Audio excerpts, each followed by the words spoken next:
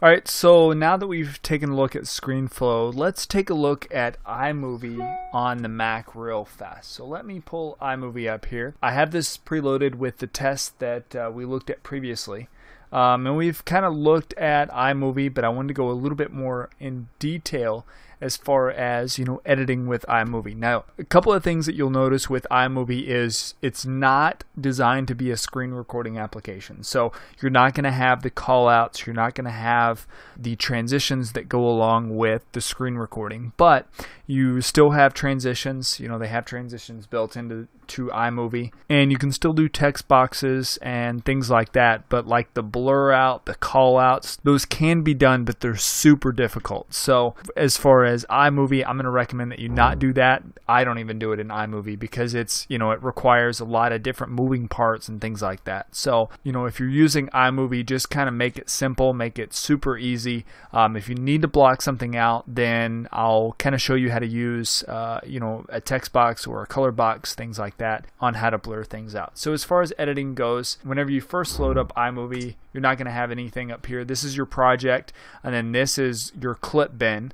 Um, so this is where all of the different clips that you import will be. Maybe a mobile recording, maybe uh, you know your screen recording as well from QuickTime or whatever it may be. So you have two different options. You can either uh, select everything. You'll notice all the yellow and drag it up here, or you can actually select just what you want. So let's say I just wanted to bring it in right here.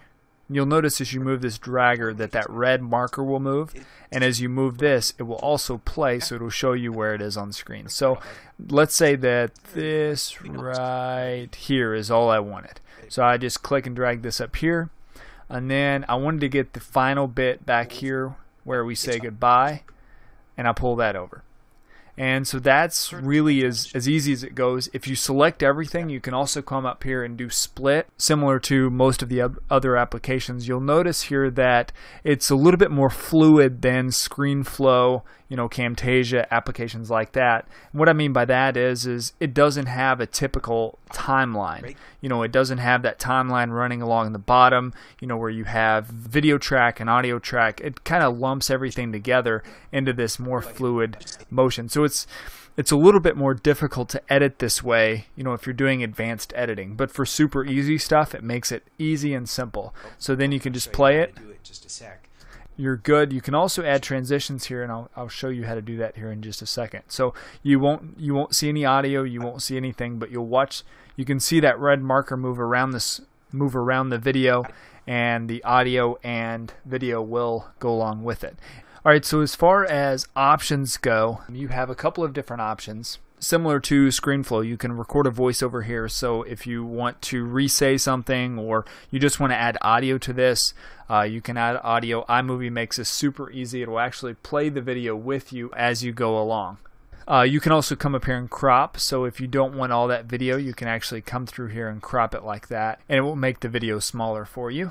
And then you can also hit info here, and it'll bring up this pane here, it'll allow you to add video effects, audio effects, change the speed, direction, uh, stabilization. This is helpful if you're on your mobile device and you know you don't have a stand, so it's moving up and down. You can edit some of that out, but you know again, this is getting a little bit more advanced. So that's what the info button does. Then you also notice you have music over here, and you'll have everything that pulls over from iTunes plus all the sound effects and things like that on your Mac. So let's say I wanted to use this one play it. Sounds good to me. If I wanted a music intro, I could bring this up here.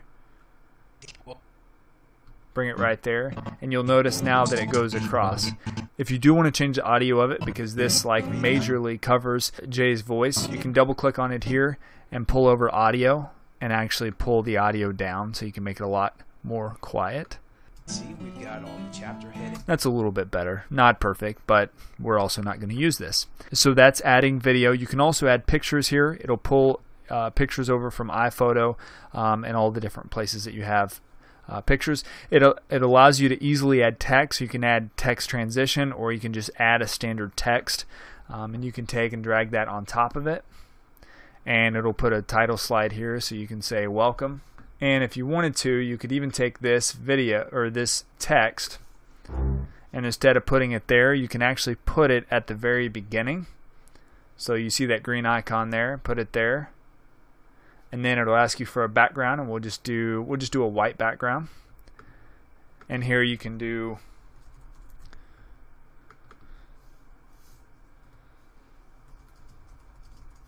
You can just do a, a simple uh, welcome screen, you know, introduction. And then if you wanted to add a transition, you can do that. So that's how you can easily add text. It'll also have, you know, different text effects down here and you can kind of watch them play as you mouse over it. As far as transitions go, there are some basic ones and then don't forget this is a full-on editing program. So it is super super powerful. It has, you know, fancy transitions. You can see the swap there. You can see the cube.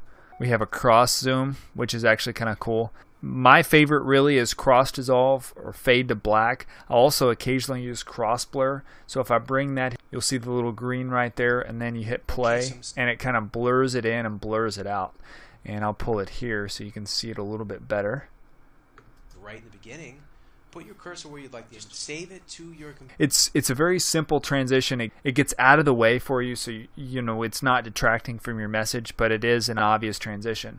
And usually, what I do at the very beginning is I'll do a fade to black. Cursor where you'd like the image. Uh, just save. So it you know it'll start from black and and then go back into black just to kind of show okay this is where the video is starting, this is where it's stopping.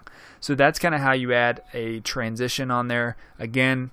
I recommend you keep it simple. You know, you use something like Mosaic or you know all these little spin out things. Uh, make sure it doesn't detract from the message.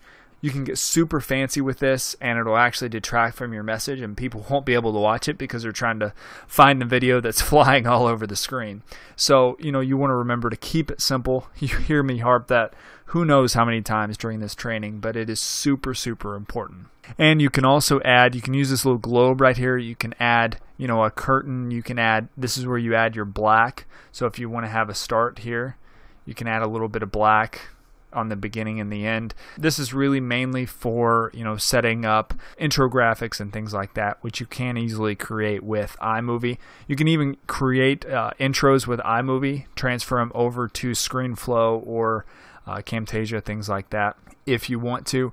And you can also create uh, super simple intro and outro graphics on ScreenFlow and Camtasia. Uh, iMovie gives you a few more options just because it is a more powerful editing platform. But that's not something that's absolutely necessary. Really, what you need uh, with iMovie is you just need the basics. You want to learn your split here, you know, and then delete this if you see fit. Uh, and you want to remember pulling this over and things like that and you want to remember how to pull this in here where to place it things like that. And and iMovie is really good. It'll show you exactly where and how to do it and all that kind of stuff. So that's iMovie and the next video what we're going to do is we're going to approach uh, Windows editing platforms as well. So I'll see you there